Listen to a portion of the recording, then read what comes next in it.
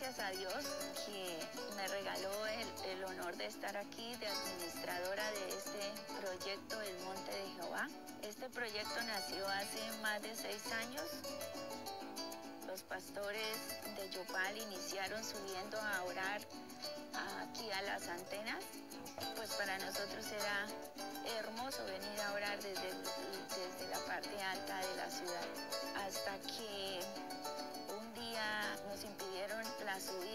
y entonces nos hizo pensar en el lugar.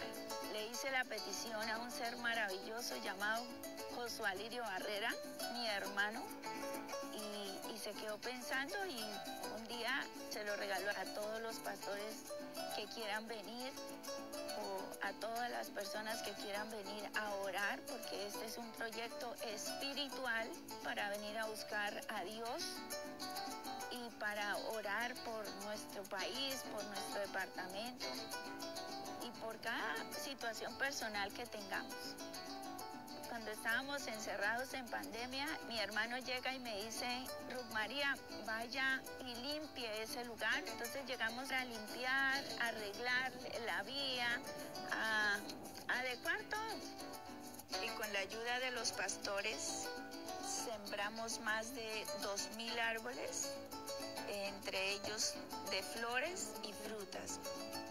Fueron naciendo ideas. Un día el fotógrafo Edward me dijo, doña Ruth, yo veo en esas piedras unas manos orando.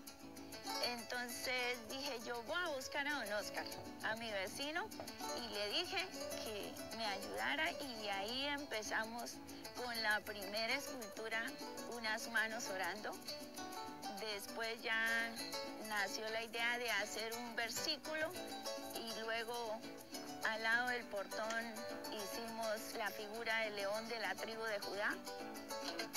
Un día soñé que en este lugar había una Biblia enterrada y después de seis meses de arduo trabajo se había logrado destapar por completo la roca. Y wow, era de 25 metros de larga por 13 de ancha. Espectacular para hacer una Biblia. Fui a donde mi hermano Alirio Barrera y como siempre me brindó su ayuda y su respaldo. Entonces fue cuando fuimos a buscar a nuestro escultor Oscar Ruiz y él encantado de enfrentar este reto.